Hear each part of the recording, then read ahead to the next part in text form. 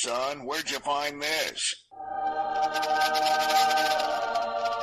Leroy Jenkins!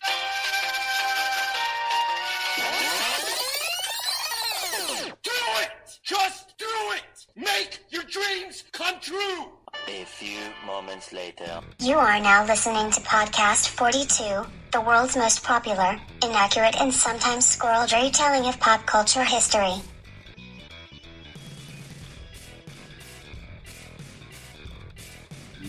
Longitude, latitude on there. I feel like we're- It's, I mean, it's probably somewhere in Norway, so I mean, I guess. Oh, Oh, Iceland, Iceland. yeah. Do you think it's a brewery? I have no idea. I just hear I feel like we're pre-podcast jizzing again. no, I feel like he already started it. Like We're not. Because on that note, it's time for podcast 42. I'm Christopher De Voss. I'm Nicole Fasone. I'm JL Strauss. I'm Faraz. Hey! While we all open our beers. Guess that means we should jump right into JL's beer cooler.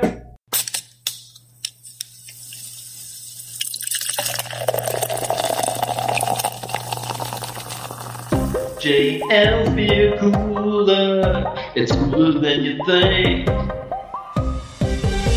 JL Beer Cooler.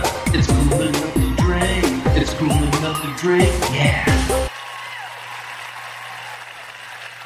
I usually am always in it. What'd you bring this week? Oh, I had Faraz in mind with this one, especially after his great review of the Einstok Pale Ale. I went, you know, look at this. It's another Einstok beer we've never had. So I went Einstok Icelandic Arctic Berry Ale. A nice white ale brewed with bilberries. With what berries? Bilberries. I feel like I should be going to the Shire with this. I know, I was thinking it too. Like you sound like a hobbit. Bilberries sound like something that, um, you know, you would have trouble with in the bathroom. I didn't have any issues with that before this, but you know, I might It's have. because you guys aren't using Charmin with a hard ch. I am using the Charmin. And I thought Einstok had the 'Cause I like to same share. uh, can, but this is different.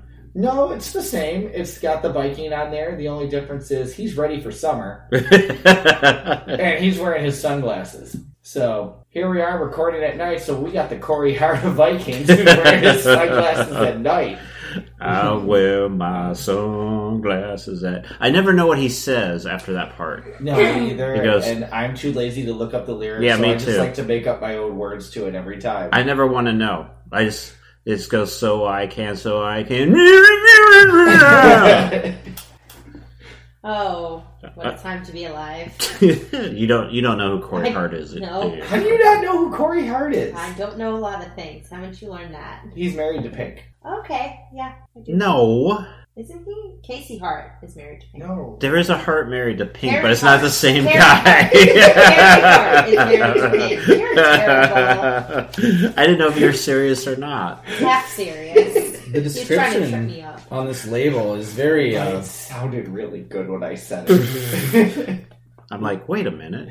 Description on the this label. label's yes. thought. Uh, this label's description is very thought provoking. Okay, tell It us about it. says in Iceland. JL, I can't read that word. Sumar Dargurin. Firsty, Sumar Dargreen. That was- Thirsty, the first day of summer, designates the arrival of warmer temperatures and abundant sunshine. At Einstok, we're celebrating summer with this limited edition Arctic Berry Ale. Why is the A in lowercase after? Is that a period or a comma? It's a period. No, it should be a comma. It's comma. Go Okay, back, all go back like- over the falls. Back, back. it's a refreshing wheat beer, flavored with tasty bilberries, handpicked near the Arctic Circle, in the perfect ale for your summer adventures. But enjoy it while you can. It will disappear with the midnight sun. I give the label a two. Why? But I give my description of the Maelstrom A5. That's a good Long live the Maelstrom. That's right. It's dead. It is. But So, well, go ahead.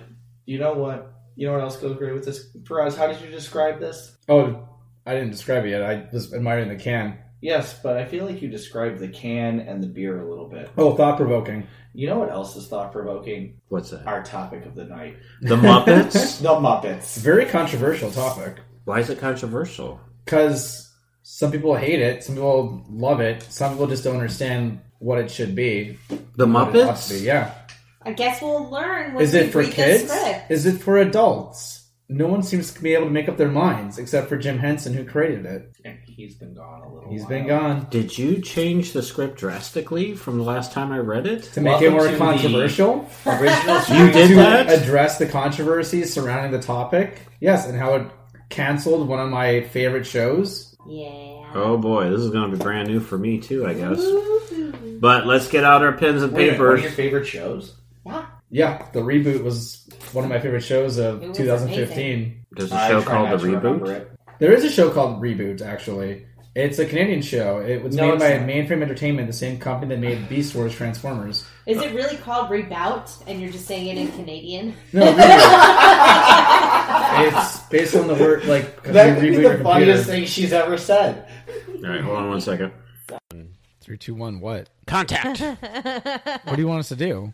Nothing. We're back Are we on. starting over again? No, we're not starting over again. And this is another new episode of Podcast 42. Let's crack right open into my beer cooler, which we already have. Wait, we should introduce ourselves, JL. No, we're not starting over. We're getting out our pens and paper. We're doing the Pop pop quiz. Pop quiz. This pop quiz is called When You Get to Question Number Five, Don't Kermit Suicide. or Phenomena. That was a Fozzie joke right there. it was, I think it was Fozzie joke. Or do you think the Count ever worries that his days are numbered? Wait a minute. One pop quiz. Ah, ah, ah. That's, that's really sad, though, What? because the Count can't be there anymore for us. Why? Because his days were numbered. Is he still? Not, he's isn't he on Sesame Street still? Wasn't the Count... He is. Okay, he's still going, I believe. This pop not- quiz is it's not all the a part same. of your imagination. Why just is it like not the same? Why is he so bitter? This is supposed to be a fun topic. No, it's a controversial topic. It wasn't when it wasn't when I wrote it originally. It was fun. It went through And multiple rewrites, sir. Oh, multiple my God. rewrites. And that's why And when as- it comes time for the rest of our topics, we're all just going to submit a script for day of. This is five general knowledge facts on the Muppets in order of the easiest to the hardest to test your knowledge. Score one point for each correct answer. Yeah. Question number one: What instrument does Animal play? Super easy. Everyone should be able to get that one. The instrument that animals play. That Animal. animals- Animal. yeah, there's more than one. There's the Muppet Baby Yes. animal also. Hint: It's not the triangle. Question number two: Did you put the triangle down for us? Because now you look disappointed. Isn't Ralph Wiggum play the Count triangle? it down, Mr. Tambourine That's Man. the wrong show. Question number two: What kind of car does Fozzie drive in the Muppet movie? What type of car? Oh, I don't. I don't know how to remember at spell all. it, but I know how to say it. That's okay. Spelling does not count. I don't know. You got to write down something. I also something. know whose it was. I don't remember whose it was. It wasn't Fozzie's. No. Whose was it? His uncle's. Oh, okay. Now I do remember that. Who? The question number three: Who is the captain of the USS Swine Trek in Pigs in Space? Going back, the original Muppet uh. Show, Pigs in Space. Who is the captain? Hint: It's not Miss Piggy. Damn it. All right, get a little harder. Question number four. What are the color of the polka dots on Fozzie's tie? You have a one in two million chance of getting this right. There are two million different colors. I don't know. I have less because I can't tell colors. No? No, Canadians can't tell colors? I can't. Every cones and Canadian is rods are messed up. colorblind is statistically proven. They did Wow. an actual like scientific study on this. Must be why they don't mind the snow so much. It all looks like gold to us. But And- do you eat that gold snow? Ew. Question number five. What Muppet has appeared in every single Muppet movie? There's only one. He, he's been in them all. Hint, it's not the count. Damn it. All right, pencils down. Easy one. What instrument does Animal play Faraz? Drums. JL. Drums. Nicole. Drums. Animal drum. Very good. Question number two. What kind of car does Fozzie drive in the Muppet movie, JL? Studebaker. Nicole. I said a convertible. For I Oz. said a jeep. Studebaker. Is that a convertible? Is it a Jeep? No. Okay. I don't know what it is. It could have been a convertible. I could have gotten half a point. You could have, you could have, but you got a zero point. That's point. fine. Who is the captain of the USS Swine Trek in Pigs in Space? Nicole. I said Gonzo. Pigs in Space. You said it wasn't Miss Piggy, so it could have been any other Muppet. The name of this. Pigs in space. Gonzo is not a pig. He's a whatever. He's an. He's not a pig. He's definitely not a pig. JL. James Tiberius Pork. That was really close Faraz. Captain Oinka Card. I like yours too. It's Pigs in Space: The Next Generation. Link Hogthrob. Link Hogthrob. yeah. Hogthrob. like a heartthrob, Yeah. but hog throb. Although I like your name better. Uh, what are the color of the polka dots on Fozzie's tie Faraz? I have purple. Purple. JL. Red and yellow. Red and yellow. Nicole. I said yellow. Pink. Ah. Pink is the answer.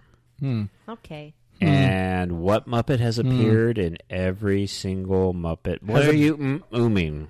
Nothing. I was. Just, You know you're ooming for a reason. I know. No, go on with the question. you want to please. dispute that, don't you? I don't want to dispute that at all. No. He totally wants to dispute I will that. raise my fight, fight, disputes later on.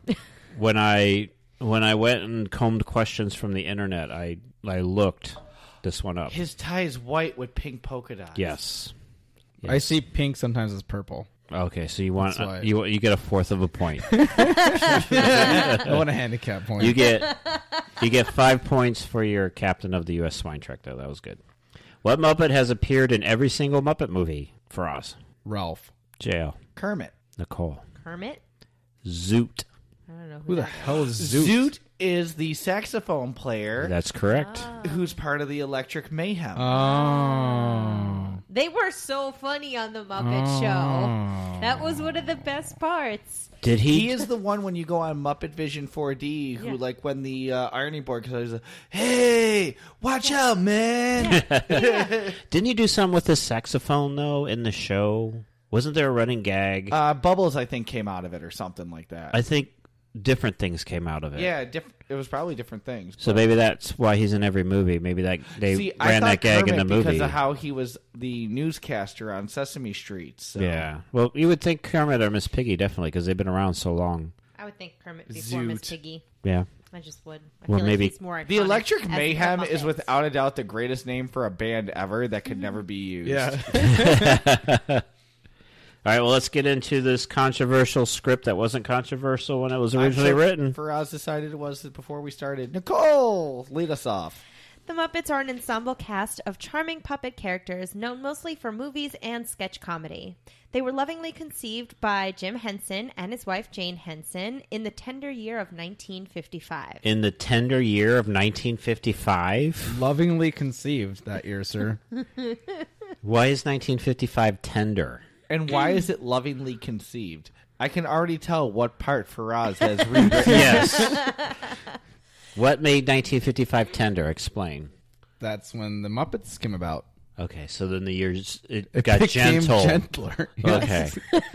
so maybe the Muppets were like born in July. J- January through June was traumatic, and then it we we And then it kind of mellowed out the year. Okay. Yeah. All right, sorry. Continue. God. Kermit the Frog, possibly everyone's favorite amphibian, was the couple's first Muppet and quickly became the signature character of the franchise. The Muppets were originally intended as characters for an adult audience akin to the 2015 ABC reboot. That's right. oh my god. And the term Muppet was a mashup of the words marionette and puppet. Henson is credited as coining the word. I think someone really skewed this script I to can't- their a personal agenda. I don't have a I personal feel like we agenda. should have proofread. Most of the Muppets are designed as a combination of rod puppets and hand puppets. A common facial design for a Muppet is a large, gaping mouth beneath big, protruding eyes. The puppets so are they look like Faraz. they look like Canadians, yes.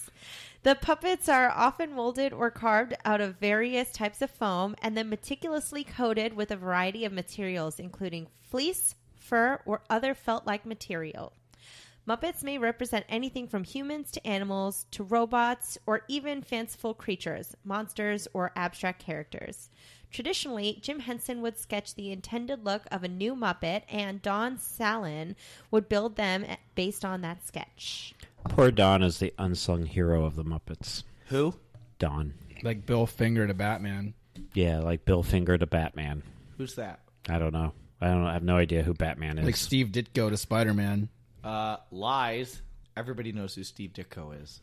We all love Steve Ditko. Bill Finger did How the same dare thing. you say that? I don't know who that is. So, Everybody but Nicole. Everybody but. Nicole loves Steve to my Ditko. Muppets differ quite a bit from typical ventriloquist dummies or puppets, which are usually only animated in the head and face. Contrary to dummies, Muppets are able to move not only their. F- Why did you snicker? I didn't snicker. Okay, Because he's a Muppet. I thought you snickered at the word snicker. dummies. No, I didn't snicker. Okay. Okay, I snickered at dummies. Okay, I thought so. Muppets are able to move not only their facial features but their limbs as well. This is miraculous ability is this miraculous ability is gifted to them by the fact that they're made of softer, more pliable materials. Muppets also presented separate also presented separate from their puppeteers. Muppets are also presented separate Oh, from boy. their puppeteers who usually remain you. hidden or outside of the camera frame. Maybe if you weren't so um, big on putting in your personal agenda, and you could have proofread it when I gave it to you, like I like that's what happens when I, I handed it off for to a you. rewrite. Well, yeah, but then you And then I catch gave it back to you for a proofread. you catch all that stuff. But no, you had an agenda that you had There's to no stick in agenda there. here. You didn't actually read it. You just stuck in agendas, didn't you? didn't. No, Okay. it, I thought it was a marriage of our ideas. No, I think you took it over. Dysfunctional marriage. None of it makes sense. When I didn't look take back over it. this script, Chris. Okay. We reached an agreement a That long time ago, about. and now here we are. I together trusted you, still. Faraz. I trusted you. That's all I have to say. In fact, the idea of using the camera frame as a stage was all you did was put quotation marks around things. You didn't You correct put, anything. you put the quotation marks on stage. I didn't Okay. do that. I don't remember doing that. Was an invitation It was an innovation. innovation started by the lovable Muppet franchise. what? Before this grand innovation, You did not say that as excited as the sentence states. oh, sorry. In fact, the idea of using the camera frame as a stage was an innovation started by the lovable Muppets franchise. Yes. Uh, you did it way better than I did. Before this grand innovation, I in was the totally lost where we were. So by the way, I'm still there. in the dark times, a stage would consist of a curtain hiding the performers. When was the dark times for us? Before this innovation, your sentence says that. You know, everything before the 50s was technically the dark times. Okay, I, 1955 was a tender year that brought about a lot of dark. like better when there was knights on horses. Is that what we're talking about? Release the hound, Smithers. They only had Punch and Judy at that time, but not anymore. Come the age of the Muppet, these puppets could even be seen in their full-bodied glory.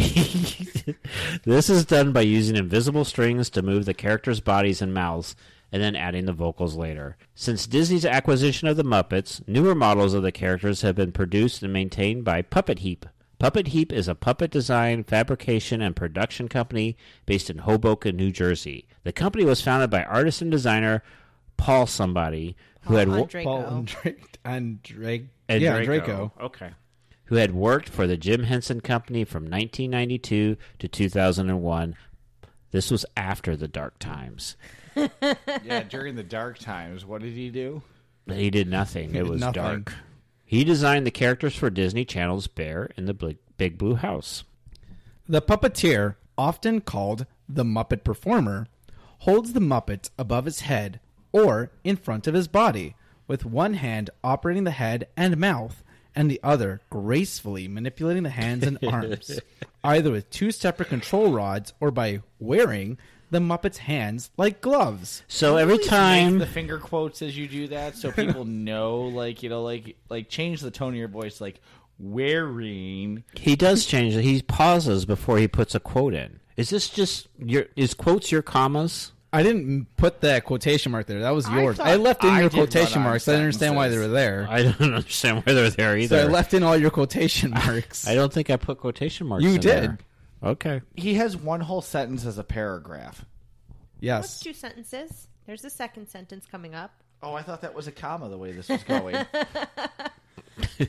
One note of this design is that most Muppets are left handed, as the puppeteer uses his right hand to operate the head while operating the arm rod with his left hand. High fives for left-handers. Woo!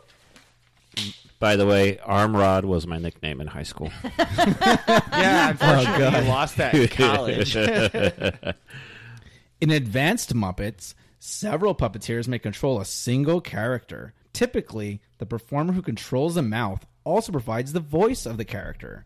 As technology has evolved, the Jim Henson team and other puppeteers have developed an enormous variety of means to operate Muppets for film and television, including the use of suspended rigs, internal motors, remote radio control, and computer enhancements. Creative use of technologies has Of allowed what? creative use of technologies has allowed for scenes in which Muppets appear to be riding a bicycle, rowing a boat, and even dancing on stage with no puppeteer in sight. Wow.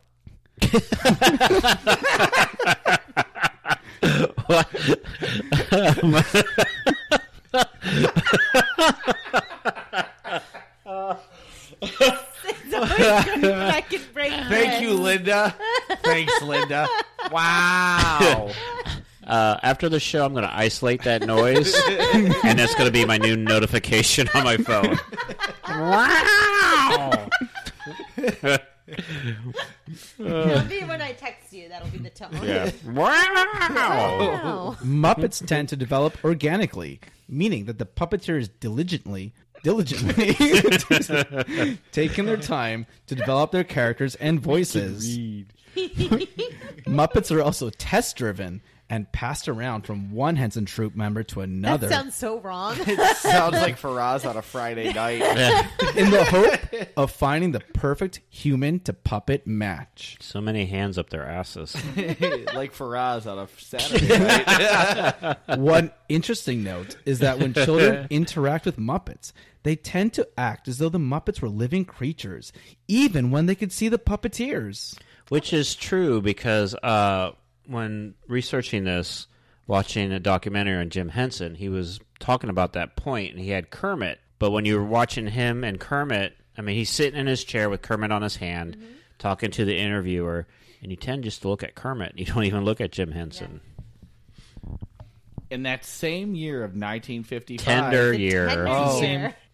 No, I'm I, I'm ignoring that. I cannot, I cannot call that a tender year. It's just making it feel wrong and abused, and You know, The Tender Years is one of my favorite shows. Ah, I like that more than Happy Days. Wonder Years was overrated. In that same tender year of 1955, the Muppets were introduced on a television show called Sam and Friends. Never heard of it. That aired on WRC TV in Washington, D.C. It was a local show, so it's not surprising you never heard of it. Conceptualized by Henson couple, the series was notable for being the first form of puppet media not to include a curtain behind the characters. That sentence was written in caveman. Henson couple. But instead, this sentence continues on, relying on the natural framing of the scene, just like the show did. This allowed the audience to hear, see, and get closer to the puppets. Oh, sorry. And Jim was able to give them more expressive and animated faces. The show was on at 11:25 same Muppet time, same Muppet channel, PM, and was geared solely for adults. It featured zany sketches and sophomoric record pantomimes. Henson was very experimental, like a few people I know, and like to try new things, like somebody who wrote this script. He, There's so many. Wow. There's so many errors. I don't know. There's so many errors. Oh I think the script was edited by Henson Couple. oh God, God. Woo! Wow. Yeah. It's hot in here. and bothered. he approached the producers in a quiet but commanding dominatrix way, and his ideas would make it to air no matter what. Then, in the 1960s, Kermit and Rolf, the dog, appeared on skits in several late night talk shows and advertising commercials, including The Ed Sullivan Show. Rolf was the first Muppet with a regular gig on network television, appearing as Jimmy Dean's sidekick on, oh, who would have guessed it? The Jimmy Dean Show. Frank Oz. Didn't he make sausage? Yes, he did. Frank Oz, Yoda, a puppeteer for Henson. Not at that time. Nope. Ugh, He was a puppeteer for Henson, but he wasn't. and Yoda. later, the iconic voice of legendary Muppet Miss Piggy hmm? would play one arm of Rolf, while Henson did the rest. Rolf was the first character to really gain stardom for Henson. Now that originally said Yoda, but was he Miss Piggy? Yes. Or did you just give it misinformation to be funny? Did I? I don't know. Did might you? Have to check it out. I'm pretty sure my Muppet knowledge says he was Miss Piggy. Okay. Maybe not the voice, When you but think the about Muppeteer. it, Well, then Miss he would Piggy be the and Yoda do sound s- pretty similar. Do they? I mean, think about Miss. Yeah, Piggy's both are very pretentious. you know, they seem to think that they're the stars of the show. I mean, Empire, you know, seems to focus around Yoda if you ask everybody. Okay, I believe you.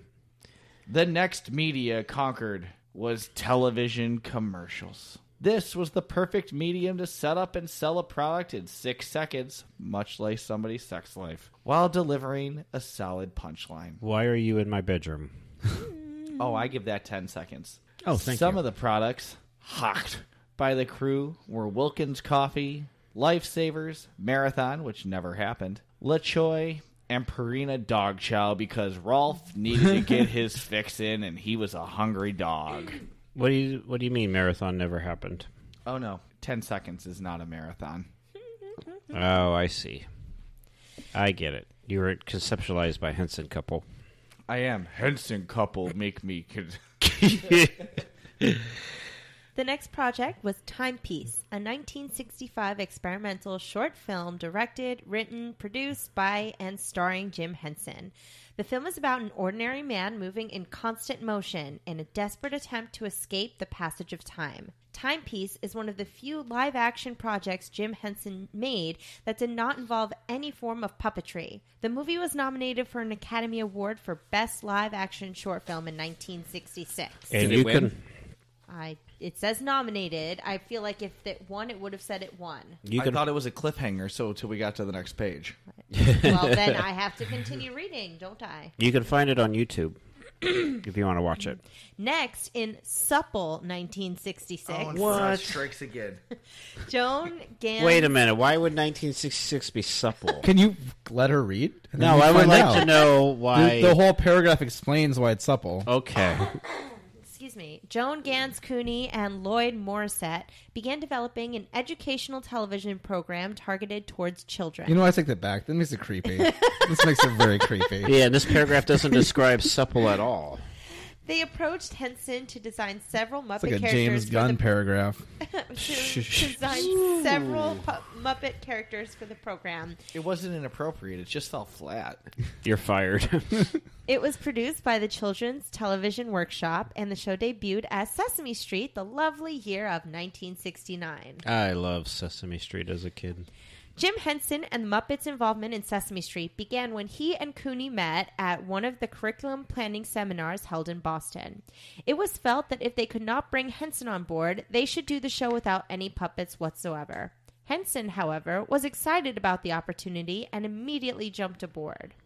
The producers and Henson had a number of meetings on what they wanted to do with the show, and one of the very first ideas was to create a character that the children could live through. That character would be the iconic Big Bird? Oh, I was gonna say Oscar.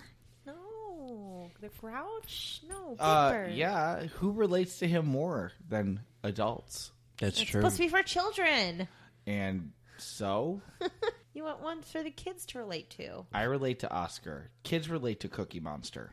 Funny side note Wikipedia said they had to twist Henson's arm, basically, for him to do Sesame Street. And the documentary said that he was all about it. So who's speaking the truth? Mm. Did you look at the notations for Wikipedia? No. Oh. Are you supposed to? They You should spell always check your sources. Okay. Wikipedia isn't just Can we a talk source. about the greatest Sesame Street character ever? The count. Is it Oscar? No. Is it I was Cookie really Monster? trying to segue into Big Bird. Oh, oh, oh. And I was going to say, check your sources. Have you not listened to any of our shows? Big Bird, everyone's favorite banana yellow avian. Seriously? what? That's not what I wrote. I read it, but that's not what I wrote. It actually been on the drawing table before, but now with this show, question what? But not with this show. Not. This this says now with this show, I know. and then there's an exclamation mark because when I now I proofread your stuff. I need someone to proofread my stuff. I sent this to you to proofread, I rewrote it. and you proofread. I it. think both of you need to quit drinking while you're writing. you proofreaded it like a Henson couple. We're doing like a Seth Rogen thing. We're writing scripts, but instead of being high, we're writing them. We're just drinking. I we're doing guess. it. Faraz's distillery is not doing well for the proofreading. He did nothing, but all he did was add the words banana yellow avian. That's it. and some exclamation marks and a bunch of quotation marks. But now this The show! quotation marks are yours. Are you sure? I don't I don't quote a lot. Well, I don't even know why they were in there. You know what? And. I can tell you right now, Faraz is not either because there hasn't been one quote Unquote. unquote. This in was there. Yeah, they're not mine. I would quote and unquote. Okay. This was a perfect opportunity to bring the enduring character to life. Henson sketched out the puppet and even designed how it would be controlled by the operator. The puppeteer would wear a suit with a television monitor inside of it so he could watch himself perform from outside of the character. His hand would control the mouth. I always did wonder how they did Big Bird. Now we know. Now we know. It's more you Mike's know. super short show. And it's not that's not like how I would have pictured they would have done it. I thought they would put two small people in there and they would have to stand one would stand on the other's shoulders. Interesting. I just pictured Peter Dinklage like somebody else. Like, Yeah. Warwick Davis. But that's yeah, but like Warwick Davis is definitely the feat. Peter Dinklage is doing everything else. Henson's idea was much safer. Henson agreed to waive his performance fee for full ownership of the Sesame Street Muppets, but would split any revenue that generated with the CTW. Who does that sound like Faraz? Not Nintendo. George Lucas. Oh. Come on, even I knew that. Henson's Muppet became a crucial part of the show's popularity, and it also pushed Henson into the glory of the national spotlight. The Muppets made it easy. Why'd you pause before that? I just say right now, I've never written a script, but the more I read these things and how horribly we proofread them, it's making me feel more confident when I actually write one. yeah, take a shot. I feel like all the mistakes had character to them. well, And here's here I thought we were just reading them like crap. here's the thing. We, now we don't have to read them like crap. They're written like crap. Faraz was busy this week, and so I wrote it all and I pushed it to Faraz and I said, "Here, correct it." And he put in banana yellow avian, some exclamation And a marks, shit ton of and exclamations. some Supple- quotations. Supple and tender years. Yes, You all forget about the lovely year of 1969. It's in there. Nicole read it. I thought it was 1955. I don't know. No. It was tender. Sesame Street debuted in the lovely year of 1969. Yeah, but I'm still trying to figure out why 1966 was so supple. It wasn't. I feel the like we should give up on that one. Nope. this is just one of those ones that I'm going to keep going with until you give me a good bad answer. The Muppet segments of the show scored high, and eventually more Muppets were added over the course of the show. Sesame Street received critical acclaim, and the Muppets' involvement in the series was touted to be the vital component of the show's blossoming popularity. Why are you giggling? because of aren't words I wrote. Then, in the ripe early 1970s, why were the 1970s ripe? you're gonna. You're about to find out, sir. Okay. Yeah, because of one name. then, in the ripe early This 1970s. is talking about the seventies, not not a movie preview. Is it Lauren? Was it right because Yes, the Lauren. 70s smelled, or was it right because they were ready to blossom? you just talked about blossoming popularity. Okay. See how they segue into each other seamlessly? So that the 70s Not smelled. at all. No, no, no. Lorne Michaels approached Muppet Studio to develop a recurring skit for Saturday Night Live. This skit would become the Land of Gorch segment. After about six shows, it was determined that Henson's humor did not quite gel with Michaels. However, it was here that Henson started to develop the idea for his own variety show. Thus was the legendary Muppet Show born. Yay! It's time to light the lights. Unlike Sesame Street, which was geared towards a younger demographic, this show would be focused purely on comedy and aimed towards an adult audience. It was pitched to all three of the big networks at the time. All three! But none of them knew exactly what to do with it. There was only three. ABC, I NBC. just said that. and I know. I wasn't CBS. questioning CBS that. or Fox? But you said it like you CBS. didn't believe it. No, I wasn't. There was no question mark at the end of my inflection. Okay. Married with I just forgot to Children put an was their exclamation big- mark there, so I was making one Okay. with my voice, Keep going. which you questioned Sorry, useless. needlessly. Never useless. What what happened? I was trying No, to she guess was the asking what the three. big three were, and I, and she I said thought, ABC, NBC, and I wasn't sure if it was CBS or Fox. And he was Oh. telling me that Fox came out in the 80s, so Yes. CBS was the third. Yes. There was Wha- PBS too, but they Thank weren't you. they weren't the big 3. While at NBC, Henson learned that London was interested in producing 24 half hour segments of the show. Wow. Lew Grade approached Henson and agreed to produce the series for the British company Associated Television. I am so glad I don't have the page turns or Chris or I didn't get that many either. No, it's just me. No, Chris has one. JL, you do have one as well. yeah, but at least it's the last one. Debuting in the plump year of 1976, The Muppet Show. the Muppet Show introduced Wait, wait, wait, wait, wait, wait, wait, wait, wait, wait. Why? Why he was nineteen? There's a better way to segue into Miss Piggy. Why? Why was 1976 fat? I feel like You, 69 J- should JL just touched upon it. Yeah, Okay. and you know what? That's the first time your girlfriend is choked during a show. So Oh, God. Oh boy. Okay. Okay. If I can. Plump it away. no, no, no. I'd prefer you not. Debuting in Yeah, the plump year of 1976. Still wrong. The Muppet Show introduced characters such as the seductive Miss Piggy, comical Fozzie Bear, awkward Gonzo, and energetic animal. And but, if you put all those together, you still don't get podcast 42. but wait, there's more. But wait, there's more. the show also saw the return of Kermit the Frog and Rolf. You need to put a little more excitement into these exclamation points. Through its syndication, The Muppet Show became bountifully popular due to its sketch comedy variety format, unique brand of humor, and prolific roster of guest stars. The show went on to receive 21 Primetime Emmy Award nominations during its run, winning four awards, including Outstanding Variety Series in 1978. And wh- Why? Why was 1978 have no descriptive word in front of it? Because that was a Nothing, um, yeah, it, just, it won an award. bountiful It year was- for them. I went on. It wasn't count- plump. It wasn't tender. It yeah, wasn't. no, plump is only because Miss Piggy came out in 76. Oh, okay. Good God, Chris. Seductive Ah. Miss Piggy. The seductive Miss Piggy. The punny Fozzie Bear. Jeez. Who writes this? Uh, Henson wanted to take his performers beyond the realm of television. The success. Oh of- my God! Go, go, Just- just, go. I feel like there should be more just to that go. sentence. There will be more. Just keep reading. somebody Ah, read ahead. somebody read ahead. Yeah, I just did too.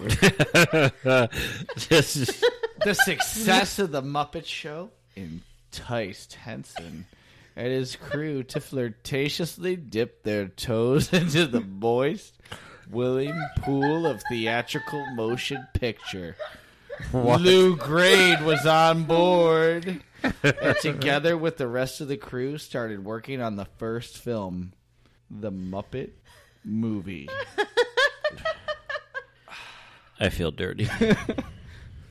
I feel a little relieved. Thank you. Yeah, that was all built up, and I never realized how much tension there was talking about the Muppet movie. But hey, moving right along, the film. I see was- what you did there. I see what you did there. The there. film was released in the fruitful year of 1979. I Why? hate you. What are you hate- glaring at me like this? I didn't do anything. Explain why 1979 was fruitful. If you give JL a chance, he'll explain it. Okay. He explained the other year. Is this where they introduced bananas, the talking bananas? No. Okay. All right.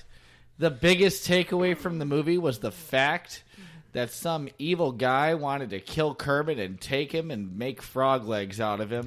but a minor takeaway was Kermit the Frog riding. a No, that's not right. Why did you change that all around? Because really, that's what I hmm. remember from the Muppet movie, other than them singing along, moving right along, and Fozzie's uncle Studebaker. Was sorry. Was that the cur- the frog leg thing? Yeah, that was the whole thing. Is that they go to the one place and the guy wants to take Kermit. He wants he want he's in charge of like um his restaurant's all about frog legs. Yeah, Are that's the frog legs plot. that good? I can't remember them. I've had them as a child, but I don't remember. Well, what they I've taste never like. had them, but it, They- this movie kind of traumatized me from ever having frog legs. They they do a fair taste point. like chicken, but no, that's not That's what just I thought- saying that. that's But what they do thought. taste like but chicken. in all But you don't I remember understand- Kermit no, then the Kermit bicycle? riding the bicycle is a phenomenal scene, especially when you look at the year it came out because the effects are great. Yeah, Okay. in the fruitful year of 1979. Sure. which has nothing to do with bicycles. You better explain yourself later in this paragraph. You know what? It was all done with a series of puppet shots interlaced with marionette shots. I have no idea what that means, but hey, let's just remember marionettes are puppets with strings. And to challenge himself and his crew, Henson next had Kermit and Miss Piggy, Piggy riding bikes together and even riding in an intertwined figure eight. Still nothing to do with fruit. That mean. What fruitful Wow, doesn't always this- have to be associated with fruit. It just means that it was a bountiful year. Okay. But you didn't It was say lucrative. bountiful. Fruitful You know also what? means lucrative, Okay. productive. Which has nothing to do with this paragraph. You Which lied. shows us A that lot Frost happened. Just, There which was a shows lot Us that- Faraz just puts one word into a thesaurus and picks every word. I guess. I think he just points his finger at something and goes, I'm using this. Yeah, that one. Because as if that wasn't impressive enough, like Faraz pointing his finger at a word that he doesn't know the meaning of. Except that I do know the meaning of great many words, JL, as you've yourself mentioned several times on this podcast. Not so if you want to go ahead and compare vocabulary So- knowledge, go ahead. oh my gosh, it's a standoff. I know. Henson then had multiple characters riding bikes together, all being pulled by two out of frame tricycles. Oh, I love tricycles. It'd be more impressive if it was a unicycle, That would be hard. But it would have been awesome. It would have been fruitful. The bikes were attached to each other by rods, and the Muppets' mouths were moved by radio control. Dude, that's impressive. That is impressive. Mm-hmm. Fruitful, even. If you see the scene, there's like 10 or 12 bikes with, with different Muppets on it. It's That not was great fruitful. timing. It's not plump. It's not fruitful. It's not tender. After the Muppet movie, the second and third films followed. The Great Muppet Caper, where they took on Charles Grodin, and The Muppets Take Manhattan, where they introduced a very underrated Muppet named Rizzo. She debuted in the sweet 1981 and the gentle 1984, respectively. Why? Oh, in the epic year of the greatest year known to man, the mighty 1983. Henson introduced another television series, Fraggle Rock, which ran on HBO in the United States until the regretful 1987. No questions about yours there, huh, Chris? No, it, all, it, it They makes, all made sense. makes no sense whatsoever. there, and I totally ran with it. And I was mad that Fraggle Rock was on HBO because we couldn't afford HBO. Down in Fraggle Rock. I never saw Fraggle Rock until really late in life. It was good. By the late 1980s, Henson entered discussions with Michael Eisner and the Walt Disney Company, resulting in Disney's acquisition of Jim Henson Productions. Eisner also wanted to include the Sesame Street characters as part of the deal. Henson, however, declined the proposal. But as discussions between the two companies continued, development began for Muppet themed attractions in Hollywood studios at Walt Studios. Disney World. Yes, it was MGM Studios at the time. I left it the way Chris had it, as I left a great many things Chris had. Yes, all the mistakes. I'm, I'm only saying MGM Studios because it's the original name, and When now negotiations were happening, it was MGM Studios. it was MGM. I did change it to Hollywood because that's what it is now. That's fine. And then next year it'll be called Star Wars Land, so the script will be outdated. Where outdated. we celebrate all movies, mm-hmm. but mostly, Mostly Star, Star Wars. Wars. Negotiations broke off after Jim Henson's death in the fateful year of 1990. Disney did manage to obtain a licensing agreement with Jim Henson Productions for permission to use the characters in their theme parks, though. Disney also co produced the fourth and fifth Muppet films, The Muppet Christmas Carol and Muppet Treasure Island, one of my favorites. Starring the great Tim Curry. Yeah, go back and listen to our Tim Curry episode, everybody. We talk about it. Uh, this happened in jovial 1992, Where and everybody laughed and all of 1992. They just laughed and laughed and laughed the entire year because it was so jovial. So worked Um, up. I think it's a good year. I love Muppet Christmas Carol. Who played Ebenezer Scrooge in that? I don't remember. Uh, He remembers. He was great, though. He's just teasing us. Whoever it was was great. I remember that. but I Uh, remember George- who it was. wait, wait, wait, I got upset it, I got that it, I Faraz got it. Doesn't know this. I, it, was it George C. Scott? No, Oh, I don't have Michael it. Caine. Oh, I just remember it was like an epic person. He had to rebound after Jaws four. Uh, Muppet Treasure Island came out in the adventurous 1996. After that, the characters starred in Muppets Tonight, which ran on ABC from still adventurous 1996 to sorrowful 1998. A sixth film, Muppets from Space, was released in the brazen year of 1999. you know we do not talk about that film. You know what year is sorrowful? 2018. That's what year is sorrowful. I might have to agree with that. Oh, 14 years after initial negotiations began, Disney finally purchased the Muppet intellectual properties from the Jim Henson Company for 75 million on February 17th of the rough year of 2004. the you look like you're so done. you sort of throw. Why are these years so descriptive? I don't remember any of them being that way. Because you put so many years in all your scripts, Chris, and I kept, saying kept taking them off, so I might as well describe every single one. Oh, Are this- you describing is them this from punishment? personal or No, just random words, because I'm sick of having to take years off for no reason. Why do you take the years off? There's they're important. Why? No one cares. Because no one's then going to we- fact no, check because us. Then we know when it happened. Yeah, hmm. there's a timeline. and now we have descriptions to go with the years. This acquisition included the rights and trademarks to the Muppets and Bear in the Big Blue House characters, as well as to the Muppet Film and Television Library. Exceptions included the Sesame Street characters, Fraggle Rock, the Muppets Take Manhattan, Muppets from Space, and Kermit Swamp Years. As part of the acquisition, Disney formed the Muppet Studio, which is solely responsible for naming years and managing the characters and franchise. As a result, the term Muppet became a legal trademark owned by Disney, although Sesame Workshop continues to apply their, the term to their characters. Oh, it's me. That's you. Yeah, you wrote this. I was following him. Really, I was engrossed by everything. there. No, I'm sure you were engrossed.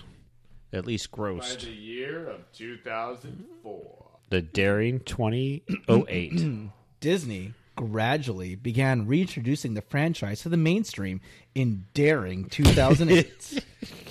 As a method of regaining a wider audience, Disney started to produce and air their own comedy shorts on YouTube. After The Muppets Bohemian Rhapsody was posted on the Muppet Studios YouTube channel, it ultimately gained 50 million views and took home two Webby Awards. Did anybody watch that? Yeah, it was good. Mm, I It didn't. It was good. Beaker was the star of the show. Ooh. They did take out all the controversial lyrics, though. I thought that was kind of funny. Well, yeah, you just had Beaker say it, and you know you don't realize what's being said. That same year, the Muppets starred in a web series with Cat Cora called The Muppets Kitchen with Cat Cora, where cooking demonstrations were shown. Oh my God. Then Disney Nod- really went along with their They're owning the Muppets, didn't they? Yeah. then, in audacious 2011, the Muppets were featured in eponymous. You don't think a timeline is needed? Eponymous. Eponymous. You don't think a timeline but it is was needed? Eponymous. I don't think that it's needed for every point. It reads like a bullet point The notepad. next time you write a script, Okay. could you change like the words for what we describe for the year? Mm. That's why I, I was feel we drawing can make a running gag the amount out of of times this, but I don't really want to go along with it, but I do. All right. Now we all know. In the roaring 2020s, I can't wait. Much like me and my exclamation points, though. So I don't want them to go away. I want them to become more descriptive. All right, keep going. Oh, they're descriptive, all right. It's audacious. In audacious 2011, Just like the script. The oh shit. the Muppets were. I may have compromised my contract. Mm-hmm. The Muppets were. Contract? the Muppets were featured in an eponymous seventh film. In an oh god, I, even, I spoke that wrong. The seventh film was intended to serve as a creative reboot (quotation marks) for the characters. Disney was also furthering development on a Muppet film since 2008 when it was considered a, when it considered adapting an unused screenplay written by Jerry Juhl, directed by James Bobin, written by Jason Segel and Nicholas Stoller, and starring Segel, Amy Adams, Chris Cooper, and Rashida Jones. The film was embraced by widespread critical acclaim, commercial success, and an Academy Award for Best Original Song. I've got everything that I need. Because he's a man.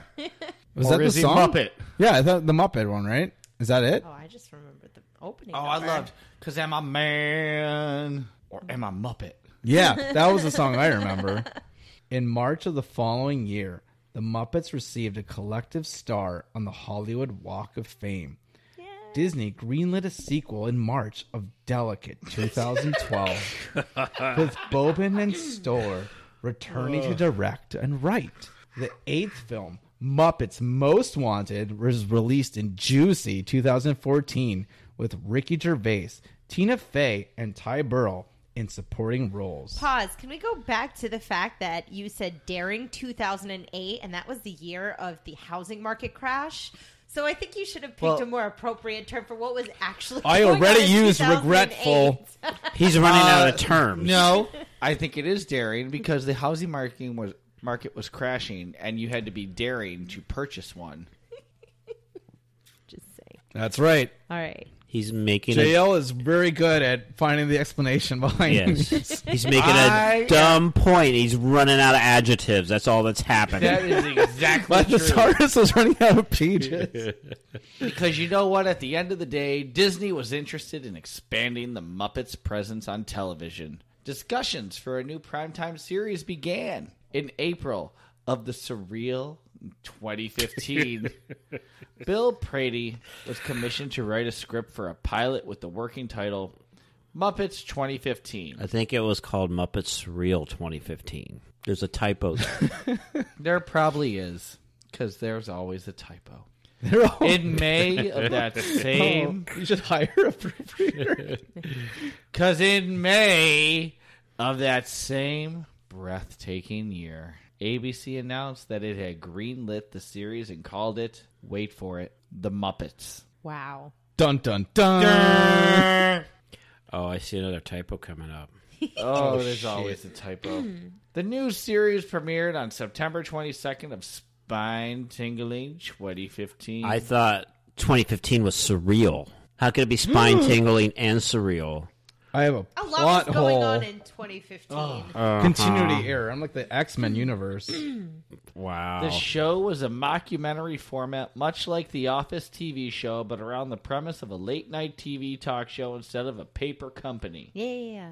Yeah, it wasn't that good. It was great. it was not good. It, was, great. Not good. It wasn't spine tingling or surreal. It was not good. It became spine tingling here and there. Nope. No, it, It was did not, not. good. It was not good. Though good. directed at adult audiences like its predecessor series, the show attracted criticism from groups like 1 Million Moms, who attacked the adult targeted show for not being written for child audiences, which I did not care about because it was just poorly written. yes, agreed. The Muppets would actually shoot back with a parody episode around the criticism, wherein they were accosted by a group called the 1 Million Angry Parents Association and were represented by a mere three members, despite the claim of having 1 million members. That's kind of funny. That's funny. I'm going to take my time. JL has a page turning turn. my page Turn the page. for my Uh, one paragraph and One second. extra sentence. Nevertheless, one million moms and other groups encouraged boycotts of the show for not accommodating their preferences, insisting that the Muppets should abandon their historic adult relatable material in favor of appeasing a family and child demographic. Consequently, ABC canceled the show for being lame on March 1st of the so-called gloomy 2016. No, 2016 was pretty gloomy. Chris tossed his script on the 2016 was floor. pretty gloomy. and that was I think the end of 2016 was gloomy. The I think rest all of of it it was, was. actually sort of upbeat. that was your adjective-ridden Muppets history. I told you this script to be controversial. hoping I for a promised you that at the metaphor beginning. written. I delivered my promises. I want now a metaphor show next time. let's do fishbowl facts. This is where we take facts from a fishbowl. Ooh, I could do a metaphor show. What's a metaphor? Why did I put that out there? The prototype of Kermit was a lizard made from cardboard and covered in material cut from Henson's mother's fuzzy green coat. The eyes were two halves of Wacky Stacks, a 1970s line of toy plastic eggs. When the manufacturer went out of business, J- Henson bought their entire stock, so he had Muppet eyes forever. Fishbowl facts. You know what? Two Muppet sung songs made the pop charts. Rubber Ducky, you're the one. by Sesame Street's Ernie hit number 16 in 1970, and someday you'll find it. Because you know what? The Rainbow Connection by Kermit the Frog reached number 25 in 1979. I'm surprised Put Down the Ducky was not one of them. Put down the ducky. When all of the celebrities came and did cameos telling him to put down his rubber ducky. I'm surprised Mana Mana didn't make it. Uh, I love that song. How can you not? You still haven't read your first fishbowl fact. Now You you're gotta- taking a gotta- second one. gotta- You're a, you're a greedy While- while you're bowler. glaring at me. I'll, Read I'll your read. fact! In more than 30 years, Beaker from The Muppet Show has spoken only three lines sadly temporary, makeup ready, and bye bye. I don't remember any of him, those. I don't remember him talking either. But I could imagine him saying bye bye. Bye bye. Miss, Yeah. Miss Piggy's full original name was Miss Piggy Lee. Ooh. Fishbowl facts. That's a fishbowl fact. Until Seductive. 1983, HBO aired only movies and sports. Its first show was Fraggle Rock. Very Down in Fraggle Rock. which I'm still mad about. The Muppet characters' frames are made out of flexible polyfoam. Foam rubber isn't used because it disintegrates. The skin, hold on, the skin, let's put some quotation marks around that, is made out of synthetic material called Antron fleece, which is furry, dyeable, and that's very important, and doesn't get fuzzballs. Wow. Fishbowl. Facts. Unlike Faraz. I don't get fuzzballs. Oh, Uh, I've seen your I share. use Charmin. Termin? Charmin with a hard CH, as its English name dictates. Oh my god. Mm, I don't think it's called that. Please don't squeeze it. Yeah, don't share that with your Charmin. In Portugal, Kermit the Frog is named Cocas. In Spain, he's called Gustavo. Oh, Gustavo. Ooh, I think that's how he got his evil counterpart in Muppets Most Wanted. What was, Was his name Gustavo? count- no, what was it? Clem- uh, Constantine. Constantine, was his evil counterpart. the worst emperor of Rome. An early draft of the screenplay for the Muppet movie included a recurring role that dropped his fishbowl fact and then picked it up for Secretary of State Henry Kissinger. He was supposed to appear several times disguised as a sheriff, a busboy, an extra for Oz, and as a head on Mount Rushmore. What year was that? I don't know. It was the I think it was fabulous, subtle. twisty, windy, uh, porcupiney Supple. 1970 B. Nine. Niner nine one. I don't know. Let's rate the beer. He doesn't have anything left. He might need a You know sip. what? I'm on my second can. I'm good. Oh, He's on his okay. second can, which you know what that means? He likes it. He knows how to rate it. How do you rate it? Faraz, how do you rate it? Do I really have to? This script's already taken a lot out of me. you You wrote you it. changed the script all but the important parts. I left all the important parts in there. I only took some sort of creative liberty Okay. with my expression. I will of explain the beer rating. It's a dashing one through six to simulate a beautiful, breathtaking six pack that's rowdy and wonderful. But not supple. That was beautiful. I'm trying to throw as many adjectives as I can. That was so good. I could cry a little. well, since you're on your second can for us, what do you think of the beer? What's your rating? One through six. no, I need another second. Someone else go. Um, I'm not really sure how I feel about it. It has a familiar taste, some kind of juice. It doesn't taste like a beer. Yeah. A, it doesn't taste like a beer at all. It it's good flavor, but considering it's a beer, I'm not really a huge fan. I I don't want to give it a one because it's drinkable. I'm going to give it a two because it's supposed to be a beer and it doesn't taste like a beer. So I'm going to give it a two. I'm giving it a four because it doesn't taste like a beer. Yeah, that's why I'm giving it a two. Don't give me that look, JL. It tastes like juice. It doesn't taste like It a beer. It does not taste like juice. I get beer out of it. It don't- I don't get There that. is a juice and beer taste in there. You just have to be trained in noticing the difference. I've been doing this for a long time. And I know apparently, what I've just beer been tastes doing. like. I don't believe that because I'm going to give it a five. There is a perfect mixture. It is very good, good flavor, and the fact that your boyfriend has had two, I know he should probably agree with me.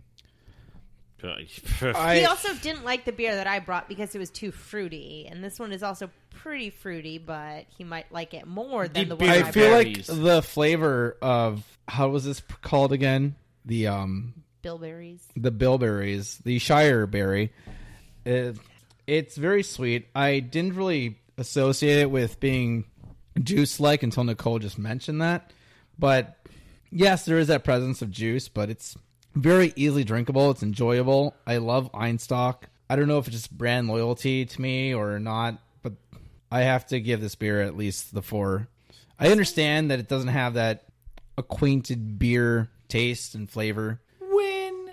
But I do enjoy drinking it, so therefore No, I, but I have sometimes to. I come in with the intent of winning just one person over, and it's a win for me. Do you want you wanted to win for us? I did. Because I do I do agree with Nicole. It's very juicy. Yeah, It's like- you like it when You it's know what? juicy. You know what I really like. I really like the Schöfferhofer grapefruit beer, but that's which like- has no alcohol taste to yeah, it. Yeah, exactly. And it has no beer taste to it because it's just essentially sparkling water. For the record, this is five percent, so it's not too Where bad. the Schöfferhofer is 2.6, 2.7. This Yeah, no, this I- tastes I like a, a Capri Sun that somebody accidentally But that's what I'm uh, saying. If- some beer into. If I were to rate a Schöfferhofer, I wouldn't rate it as a as a beer, and that's the problem. I would probably give it a one or a two. I would. Where did I purchase this? I don't know. Where did you purchase it? Probably ABC. Did I get it in the beer section? yes. Then it's rated as a beer. Well, I don't enjoy it as a beer. and that's allowed. You're analyzing too much. You're allowed to not Thank like you. it. She's allowed to not like it. and I'm allowed to criticize. Well, you can you can be upset that she doesn't like it, but that doesn't change. No, I'm just analyzing her rating. but I kind of agree with it. But I gave it a higher rating because I like the fact that I know it's, why you did. It's that's so a- beery. So we're on the, we actually have the same rating, the- but it's when a we different compare it to the scale. Schöfferhofer, which is really just a sparkling water beer. Well, it's a That's where- beer. It's a Schöfferhofer. Yes, but it's essentially sparkling water. That essentially, and this is essentially juice. So That's what I'm saying. So therefore, I don't want to rate it like I would a traditional beer because it doesn't taste like a beer to me. So I can't put it on that same rating system. I can't. I can't give it the appropriate rating that I would for any other beer. Just like I wouldn't give Schöfferhofer a, a rating for a beer because you would pick that up in the beer section too. Would you call that a beer? I feel like this is one of those moments where like the I'm gonna go get my popcorn meme pops up. You know what? it's your fault for. Oh no!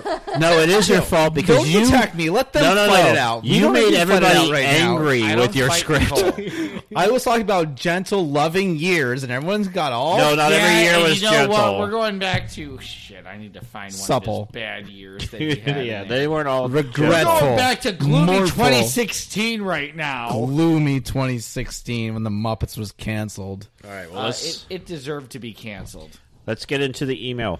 If anybody would like to email us, please email us at podcast Deserved. podcast42show at gmail.com. Uh, our first email is from Dirty Baby. Who? Dirty Baby. For us, when did you get a new email? Who was who was that celebrity you were talking about before when we did the Oh, live Dan show? Harmon. Yeah, is that him? Is I that don't who's know. emailing us? I doubt it. Wow, know we've he got listens. popular listen p- popular listeners. I like to listen to the live shows on TuneIn, but they disappear. What gives? You have to listen on Spreaker, or you have to uh, subscribe to our Patreon page, and all of our live shows are going to show up on our Patreon page, as well as outtakes, which there are a lot of. If you listen to this show, you can tell there are definitely think a lot we have of a lot of outtakes. We have a I lot think of tonight we're gonna have a lot of outtakes. No, it, go, it all of our sound as- checks, all of our bonus episodes, like Uh, wait a comparing burgers and Our fried sound chicken. checks are being recorded the entire time. Yeah. Yeah. How do we play them back? I really need to watch what I say. Too late. But they disappear because I only meant half of what I ever said. you have to get them on. you have to get them on Patreon after a day or two. They're free for a day or two. Never mind. Patreon. Pay for them. I meant it all. I meant it all. The next one is from Patty Patty.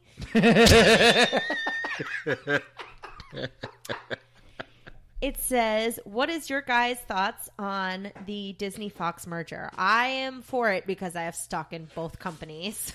That's the only reason. That's Yeah, I- wouldn't that not be the only reason? if you have, financially, I'm very interested in these two merging. no, I'm just kidding. I, I didn't hear your response. I'm sorry. I assume he was laughing at the email name.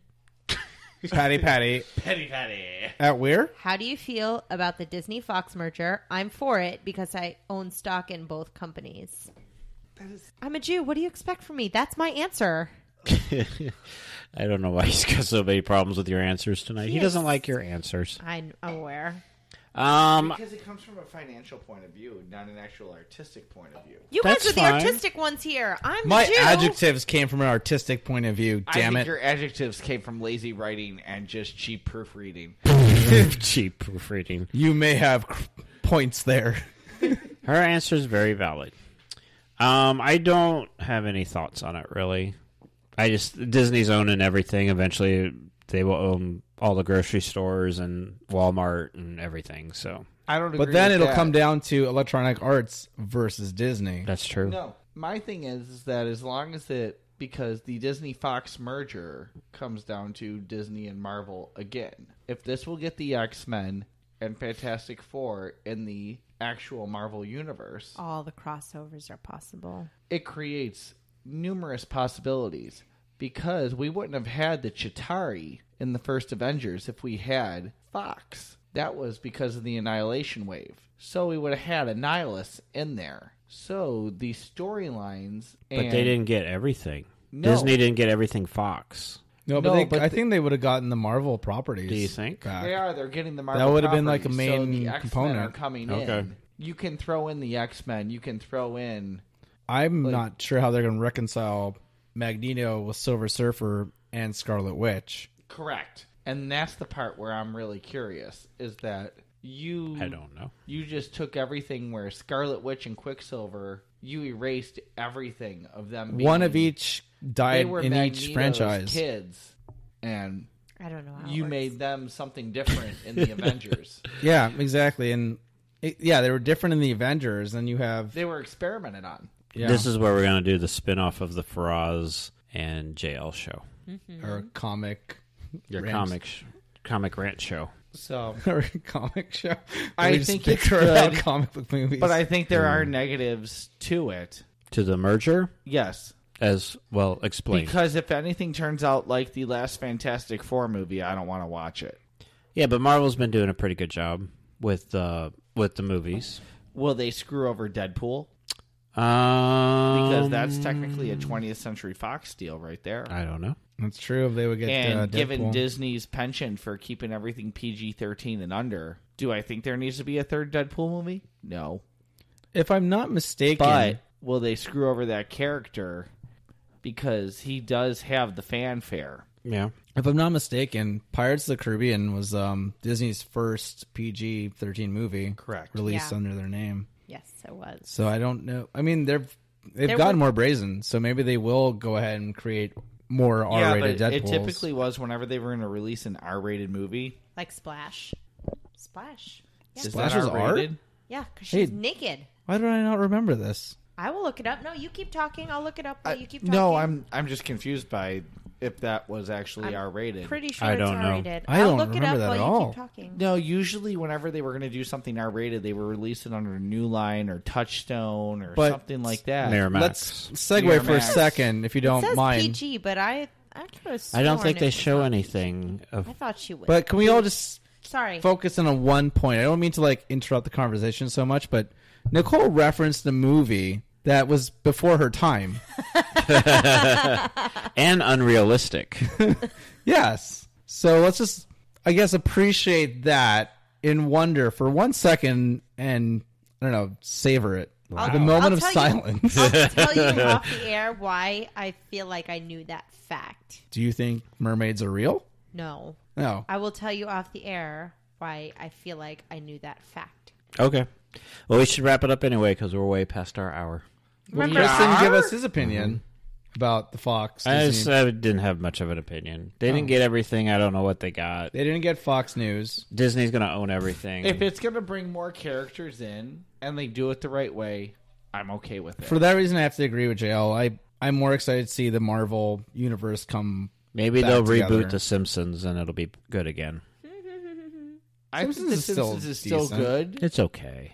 It's just been on for so long. They'll get you have Family Guy. expectations. They'll get Family It's Guy. like the longest running That's, American that's sitcom. my view on The Simpsons is that it's still good. We just have such high expectations because we always look at what it was and how revolutionary and groundbreaking it was that we expect it to be at that platform at all times. Yeah, well, there's some thoughts to ending your series They'll also get when you when you're on top. Yeah, but Mash, I hate to say it with the Seinfeld. money and everything like that, but I understand why The Simpsons is still.